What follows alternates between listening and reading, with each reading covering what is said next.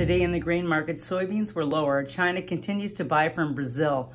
41% more than last year. And for the U.S., we have exported 50% less than last year. So those numbers really create a pretty wide chasm. Take that into account as well as we need to export a million and a half tons per week just to keep up with the forecast for the phase one trade deal.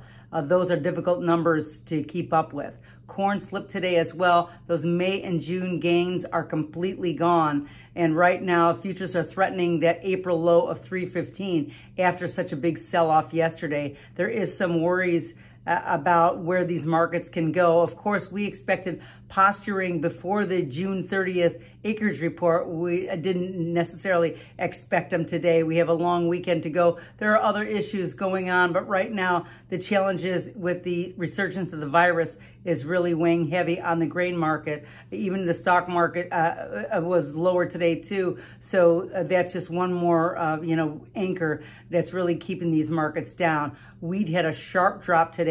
New contract lows since September of 2019. 2019, down 16 cents. It just seems like all the outside markets and the fallout from corn and soybeans is really weighing on that wheat market as well.